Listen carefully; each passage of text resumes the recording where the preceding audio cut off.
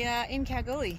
Monday morning, half past eight, first thing, Department of Mines to get our miners' rights. So if we do any prospecting while we're out and about this side of the country, we can uh, do it legally.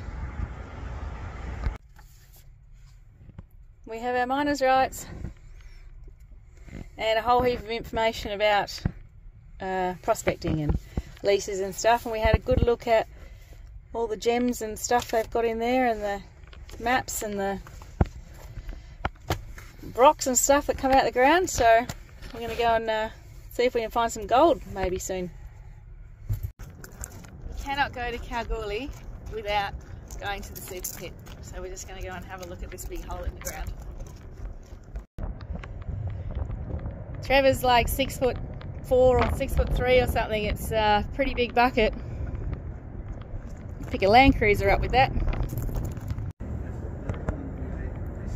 I don't think you can quite grasp the size of it on the video, but it's it's pretty bloody big. Pretty bloody big. It's kilometres long operation.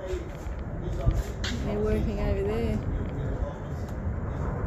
And you can see some of the old miners years and years ago, 100 years ago. Their little mine holes in the sides around the place.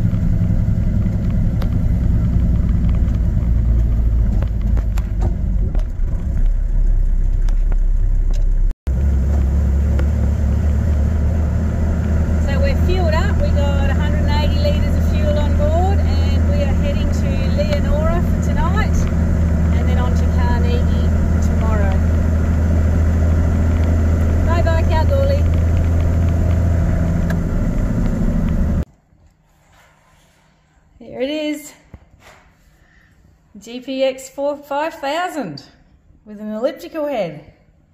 We're all set to go and get some gold.